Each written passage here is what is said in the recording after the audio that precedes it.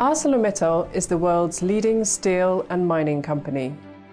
Our steel is at the heart of the modern world, forming the fabric of life from railways to cars to washing machines to iconic towers and sculptures. While the history of steelmaking dates back two centuries, the methods used to manufacture steel continue to evolve in order to meet customer requirements.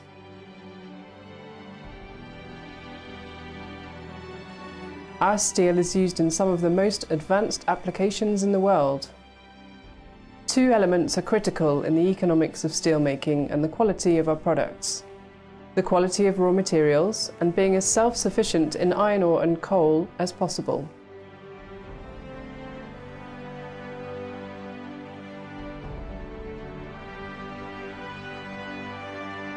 The integrated route is used where high volumes of steel are being produced or for the production of high purity steel grades.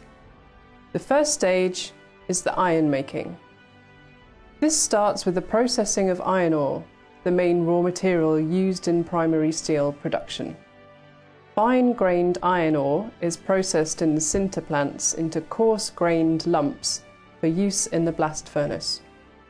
Coal, another important raw material in iron making, is cleaned of impurities in a coke furnace to make an almost pure form of carbon called metallurgical coke.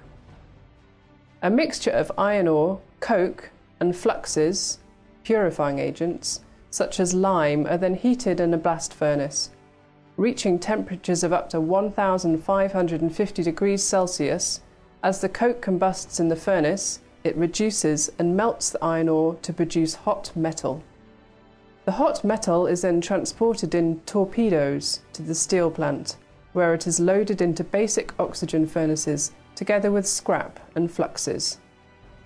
Pure oxygen is blown onto the metal bath to burn the excess carbon and impurities. The finished product is liquid steel,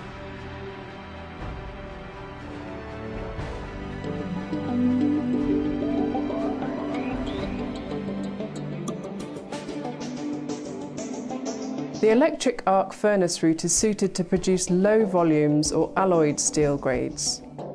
The process involves using recycled steel scrap and pig iron, which is melted at more than 1600 degrees Celsius in an electric arc furnace.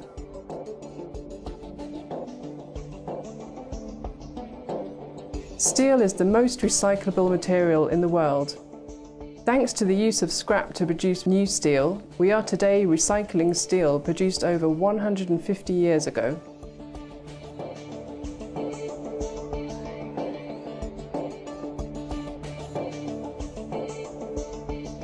Secondary steelmaking is a critical step in the steel production process, acting as a final steel refining stage before casting.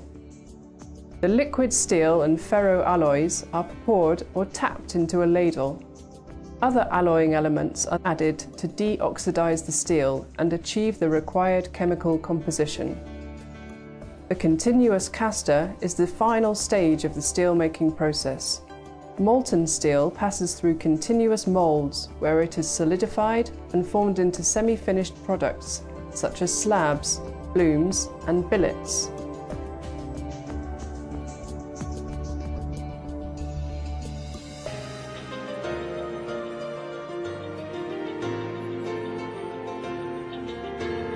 Semi-finished products are rolled at a hot rolling mill to change its dimensions and give the mechanical properties of the steel.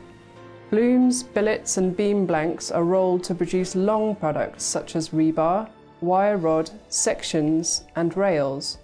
Slabs are rolled to produce hot rolled coils or plates. The blanks used for rolling long products are loaded into a reheating furnace and heated up to 1300 degrees Celsius.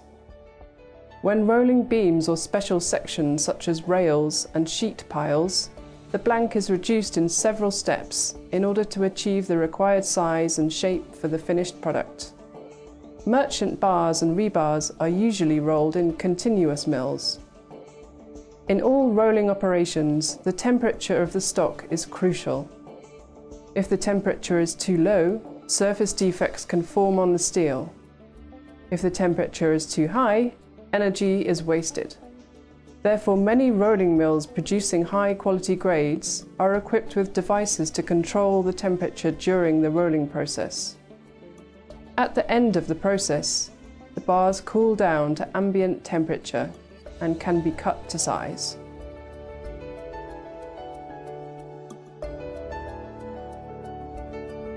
Prior to further reducing the thickness of the hot rolled strip, the scale or oxide layer is removed by pickling. In the cold rolling mill, the hot rolled strip is transformed into a finished product, cold rolled sheet with or without coating. The mechanical properties of the steel strip are obtained by a heat treatment called annealing. The annealed and skinned cold rolled strip is now ready for final inspection and packaging. In most cases, additional corrosion protection is applied through passivization, protecting the surface from oxidizing or rusting. Metallic coating can be applied by electroplating, Electricity is used to deposit a metallic layer on top of the steel.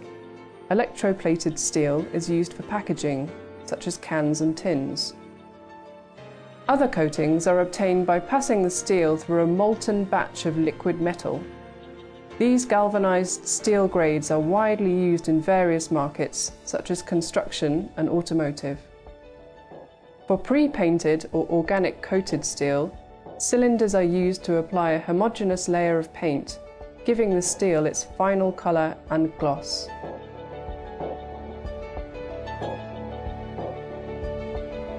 In order to make sure ArcelorMittal steel stays at the cutting edge, research and development permeates all parts of the business and innovative thinking is encouraged at all levels.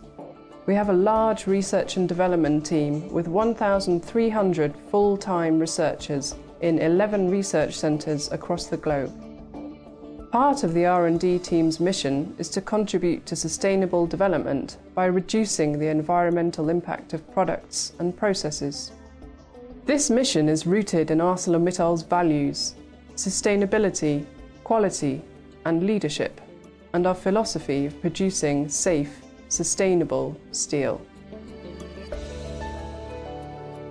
In the 1870s, the Scottish American industrialist Andrew Carnegie called steelmaking the eighth wonder of the world, and we at ArcelorMittal agree.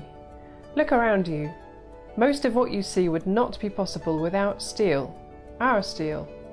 Since the beginning, steelmaking has not only helped create the world around us and millions of jobs, it has also been key to advancements in everything, from surgical equipment to the recent discovery of the Higgs boson subatomic particle.